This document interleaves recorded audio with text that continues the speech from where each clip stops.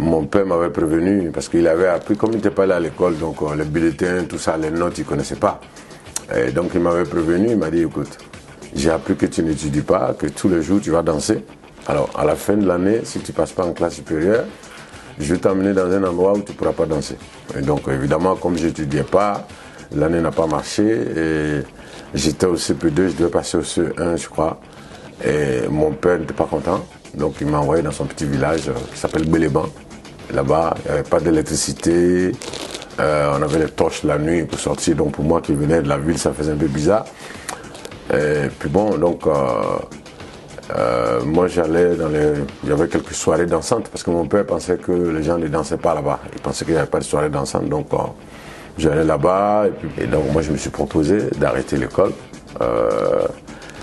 pour faire de la musique, pour pouvoir l'aider. Donc j'ai pas eu j'ai pas eu des gifles, on m'a pas giflé, mais c'était presque ça. Ils ont dit, mais tu veux faire la musique, est-ce que la musique c'est du travail, c'est un travail, etc. Quand est-ce que tu vas gagner de l'argent pour m'aider? Moi, j'aurais pu être commerçant, mais j'allais t'enchaîner dans un truc euh, qui n'est pas, que je voulais pas faire. Hein. et, euh, je vous assure que ça marchait, hein, parce qu'on m'a donné 50 000 francs, mais j'étais déjà dans les millions quand je quand j'arrêtais. Hein. ah ouais. J'étais donc euh, ça se passait bien, mais en fait, mon frère, il a vu que, il a compris, voilà. Votre passion était plus forte que ça. Il a vu que la passion de la musique était plus forte, et donc il m'a, c'est comme ça qu'il m'a libéré, mais avec des petites punitions, puisque à la maison, j'étais dans une, ce qu'on appelle chambre salon. Et donc, euh, après ça, on m'a mis dans un studio. On m'a dit que je ne méritais pas la chambre salon. Donc, euh, je répétais euh, avec mes musiciens dans ce studio. On sortait les matelas la journée. Euh, l'après-midi parce qu'on répétait à 16h. Donc on sortait le matelas, on installait les batteries, etc. dans le studio et puis on répétait. Et il y a tous les enfants du quartier qui venaient assister à Boaké. C'est là que j'ai joué pour la première fois. Il y avait un retour. Parce que moi, je connaissais même pas les retours, puisque à Odiné, pour moi, les pieds des micros, c'était les pieds des ventilateurs qu'on avait fabriqués. Wow. Euh, tu vois, la batterie, c'était, on avait les cartons de cube magie ronds, là, qui étaient un peu ovales, en fait. C'est ça, oui. Voilà. Donc, on, nous, on avait fabriqué ça, c'est avec ça qu'on se débrouillait, on faisait nos répétitions, et puis là, on a, là, on avait tout, quoi. On avait, bon, après, on a eu un jeune Français qui nous, qui nous, a donné la possibilité de jouer avec une batterie, mais les retours, les sides et tout, jouer sur un bon son, euh, s'entendre euh, très bien dans un micro, dans une salle, c'était à Boaké. Ismaël Diaby, celui qui chantait Pétrole mouillé dans l'orchestre université. C'est ça. Père son âme, le grand frère Ismaël Diaby que j'ai connu personnellement. Donc c'est lui qui m'a vu sur scène, et puis après le concert, il est venu me voir, il m'a dit écoute, je te fais rentrer en studio. Donc, euh, est rentré en studio, euh, il n'avait pas assez de budget. Mais nous, on était heureux. C'était au studio Nefertiti au plateau. Et donc, euh, d'ailleurs, je rappelle qu'on a enregistré en deux jours. On a fait les instruments pendant une journée. Et puis le lendemain, quand on est venu, le grand frère a dit, bon, écoute, on n'a pas assez de budget, il faut tout faire, tu vas chanter toutes les chansons aujourd'hui. Et moi, j'allais prendre les cassettes à 1000 francs et j'allais vendre à 1250 à Korogo, à Odjene, à Bundiali, à Daloa, à Boaké, etc. Et il y a des témoins, Koné Dodo du Palais de la Culture, c'est lui qui est le directeur de faculté de Alpha Benu Production. Et d'ailleurs, je me souviens quand je venais prendre les cassettes, euh, un jour il a demandé à me voir, il m'a dit Mais c'est quel artiste là? Je comprends pas. Euh, il m'a dit que j'étais une espèce rare. J'avais du mal à passer à la télé et tout ça. Et, donc, euh, on ne me connaissait pas, puisque moi je viens de Djéné, donc j'avais pas de relations à Abidjan, j'avais pas de manager. Et donc moi j'avais envie de me faire connaître. Donc, euh, d'ailleurs, quand j'allais vendre les cassettes, euh, je ne revenais pas avec l'argent puisque je faisais ce qu'on appelle dépôt-vente. C'est-à-dire que j'allais déposer mes cassettes. C'est ça. Et puis je disais, je demandais au, au gars, euh, au commerçant, je dis, mais vous voulez que je passe quand? Puis le gars me dit, bon, écoute, vous savez que vous n'êtes pas connu, donc passez dans deux mois. Donc moi j'attendais patiemment et je passais dans deux mois, évidemment. J'étais un peu découragé en ce moment après ah ouais. Après, après Missouri, euh, voilà, je, je me disais c'était pas la solution. Voilà, moi je peux pas chanter, le vendre, faire le manager, faire tout le temps. Donc je suis retourné à Odiné. Et puis c'est là qu'il y a eu euh, euh, la première bataille des politiciens après la mort de Fouad Boigny. Et, donc moi j'étais à Odiné. C'est cette année-là d'ailleurs que j'ai commencé à m'intéresser aux journaux, à lire les journaux, à écouter euh, les radios, euh, l'actualité à la radio, sur les radios internationales ou même les radios du pays. C'est ça. Et c'est là que voilà, je me rends compte de toutes ces manipulations des hommes politiques voilà, qui, à mon avis, voulaient mélanger le pays pour accéder au pouvoir. Ça, c'était ça. Et puis bon, c'est là que j'ai écrit Manjécratie, c'est là qu'il y a eu aussi des casses. J'avais dit, ça y est, dans le livre de Samba Diarra, et là, voilà, euh, avant de mourir, il laissera un accord au pouvoir. Et donc ça c'était prévu, on, voilà, on va pas dans les détails, on sait quelles sont les acrobaties qui ont été faites pour que Bédier euh, revienne des États-Unis, qui se retrouve président de l'Assemblée nationale et que le président Philippe Yassé soit éjecté, tout ça. Donc il y a eu tout ça, et puis bon, euh, voilà, et donc euh, moi très, très jeune, très tôt, j'ai lu le livre de Samba Diarra, j'ai lu l'actualité, donc euh, je comprenais un peu toutes ces manigances là, toutes ces acrobaties, donc je pense que...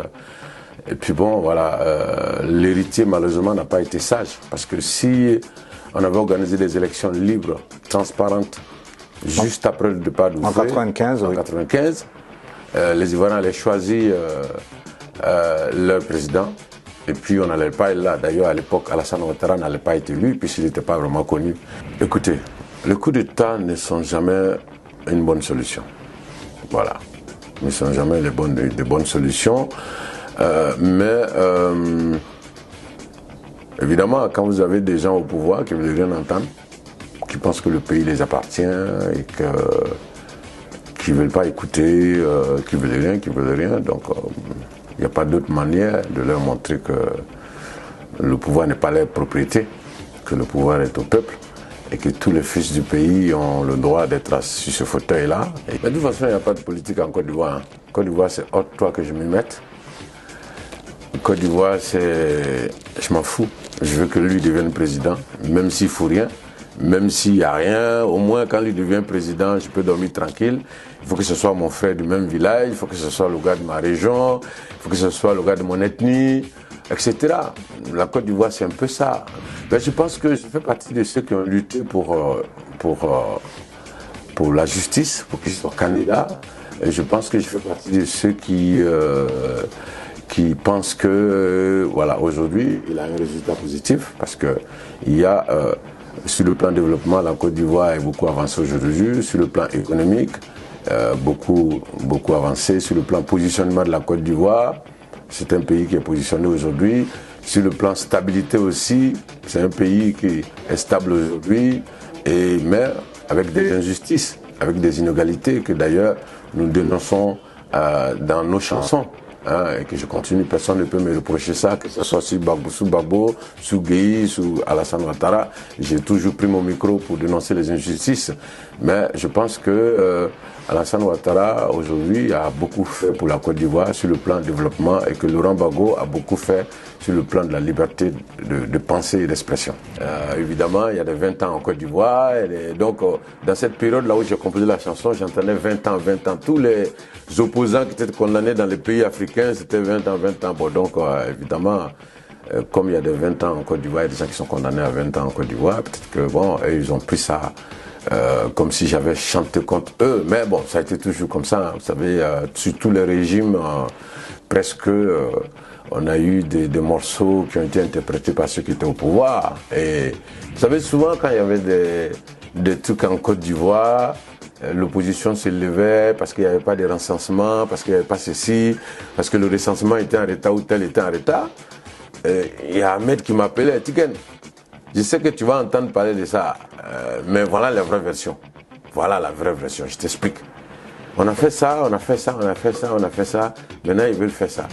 Vous savez, je suis l'un des seuls artistes qui n'a jamais chanté à un meeting politique en Côte d'Ivoire. Jamais. Quels que soient les millions qu'on m'a proposés, vous ne verrez aucune image de Tiken Fakoli en train de chanter à un meeting politique. Pourtant, c'est beaucoup d'argent. Ouais, je suis euh, euh, celui qui rêve de faire un grand festival reggae en Côte d'Ivoire, mais j'ai besoin d'être accompagné. Voilà, mais euh, voilà, peut-être que je n'ai pas les bonnes manières, peut-être que je ne suis pas du bon côté, peut-être que je fais. Oui, mais bon, je pense que vous voulez poser la question parce que voilà, effectivement, j'ai été, j'ai été décoré au Canada, j'ai été décoré en, Irlande. plusieurs fois en France ici. Je suis officier de l'ordre national. Euh, j'ai été, euh, je, je, suis l'ivoirien qui détient le plus grand nombre de disques d'or. Voilà. Et, euh, et, donc je suis l'ivoirien, l'artiste ivoirien qui tourne le plus dans le monde. Voilà. Et donc euh, et ça se passe très très souvent bien. Et vous voyez, dans mes conseils, il y a toujours des drapeaux de Côte d'Ivoire. Donc je représente, je suis un ambassadeur. Voilà. Et puis bon, j'ai été euh, pratiquement le seul artiste qui était à l'écart, qui était considéré comme soutien de ceux qui sont au pouvoir aujourd'hui, quand il était dans l'opposition, évidemment. Voilà. Et donc, voilà. Mais je suis celui qui n'a jamais été décoré. Il faut que les Ivoiriens se mettent au-dessus des religions, des ethnies, des régions et réclamer des propositions aux hommes politiques. C'est-à-dire que voilà, euh, voilà, toi tu dis que Bago n'a rien fait, alors qu'est-ce que tu nous proposes de plus? Toi tu dis que Ouattara n'a rien fait, ok, en plus, ce que lui a fait aujourd'hui, qu'est-ce que tu veux faire de plus? Ainsi de suite. C'est-à-dire que les politiciens doivent venir avec des programmes. Et c'est ce que les Ivoiriens doivent exiger. J'aimerais que Guillaume Soro rentre, mais en même temps, Guillaume Soro est victime d'un système que lui-même il a contribué à mettre en place. Voilà. C'est-à-dire que, euh, voilà, quand Guillaume Soro était Premier ministre, il y a des gens qui étaient en exil parce que Guillaume Soro est Premier ministre. Ainsi de suite. Moi, j'ai toujours dit que l'indépendance de nos pays ont été données la journée et ont été repris la nuit. Voilà. C'est-à-dire que euh, tous ceux qui ont voulu, euh, qui ont cru que l'indépendance était réelle, ont été soit assassinés, soit éjectés du pouvoir. Modibo Keïta, Kwame Nkrumah, Patrice Lumumba, euh, etc. Thomas Sankara, qui est le dernier, etc. Bon, donc ces jeunes-là aujourd'hui se sont donné le droit d'aller voir la Russie, d'aller voir la Chine, de rediscuter les contrats, de revoir les accords, etc. Mais c'est extraordinaire. Nous, on vit ça, on est content. en tout cas. Mais nous, on est content. Nous, on vit ça. Mais c'est de, cet éveil de l'Afrique là dont vous rêvez Oui, c'est moi qui ai chanté Réveillez-vous. La politique France-Africa, c'est du blague et tuer. Parfait. Etc. Mais je suis pas encore mort. Je vois les résultats de, de ce, que, ce dont j'ai parlé il y a 20 ans. Et donc, c'est extraordinaire. Je pense que ces pays-là se sont simplement donné la liberté. Allez voir veulent. Et en fait, c'est la reconquête de la vraie indépendance qui est en jeu aujourd'hui au Mali et au Burkina Faso. Il y a les aléas de la vie et puis il y a les réalités politiques. Je vais vous dire quelque chose, M. Vergès. Dites-moi. Voilà. Si le président Bago s'était retrouvé dans la même situation que le président Ouattara, les gens du FPI allaient lui dire continuer. On est en Côte d'Ivoire. Si c'était le président Bédier le PDCA allait lui de faire un troisième mandat. Le, le, si c'était Bago qui était au pouvoir, les militants de Bago allaient lui dire de continuer. Parce qu'à Côte d'Ivoire, il n'y a pas de politique, c'est juste une lutte pour le pouvoir. Yes, I'm Rastafari, moi c'est Tiken Diafakoli. Suivez mon interview sur actupeople.net avec Guillaume Vergès. Ne manquez pas cette interview. Rastafari, c'est la CI. Merci.